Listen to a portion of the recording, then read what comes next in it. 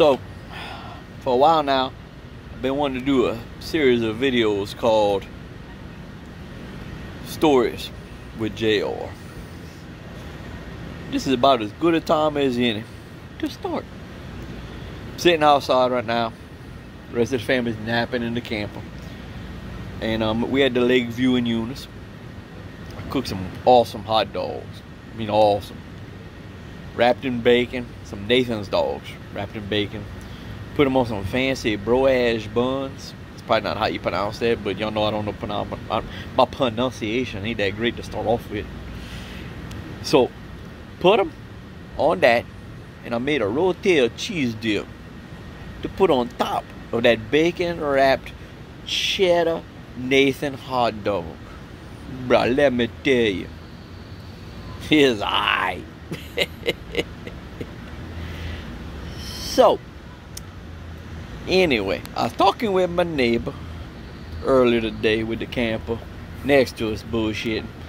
And just talking about where everybody's from and whatnot. And I was like, oh, I'm, I'm from Opelousas, you know. But I had to say, I said, you know, the name Wheeler ain't a common name in the Cajun country. I had to say, you know, something that some people, some of y'all know this because y'all know me. Some of y'all don't. But a lot of people don't know. I'm half Cajun. I'm half Yankee. I don't talk about me being half Yankee that often, but I am. I am. The Wheeler part of my name comes from South Dakota. That's where my dad is from. Now my mom, she a Gautreaux from Opelousas. I was born and raised in Opelousas. I left, you know, from 98 to 02 to go to the Marines. And then I went to California in 03 when I got recalled. And I come back, I went right back to the Opelousas. Been to Opelousas ever since, you know. I, I travel all over the world for work. But my roots and where I'm from and where I live is Opelousas good or bad. We got our there's some bad too, you know. I, am not gonna act like where I'm come from is perfect. It's it's got its problems, but I stick with it. It's where I'm from. It's where my people's from. Anyway, the story that I was gonna tell goes back to when I was in the Marines. For some of y'all that don't know, I was in the Marines. Most y'all already know that because I, I got some videos on here already about that and other things.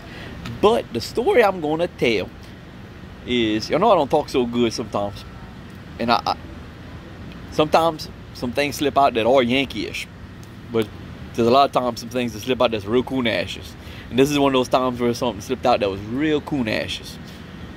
I was in the Marines, you know, hanging out with some of my buddies from Second Platoon, Kilo Company, hoorah! That's for y'all, brothers. Anyway, I uh, I was talking about crawfish balls. Y'all know we like to do a crawfish ball. And one of my buddies looked at me when I said that. He's like, a ball? I said, yeah, crawfish ball. So it's a ball. I said, yeah, it's a ball. He's like, so there's music?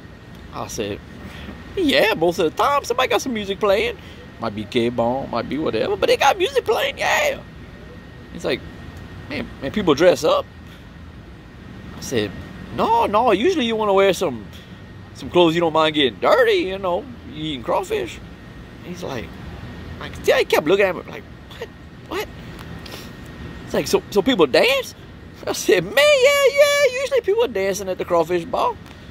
You know, music's playing, people's dancing. Yeah, yeah, usually. And then, luckily, my buddy from Mississippi, Dan, kicked in. He, cause, you know, Mississippi, they kind of like the the buffer for us when it comes to the language. He goes, man, that dumbass is talking about a boil. and everybody's like, wait, what? He's like, yeah, they boil crawfish.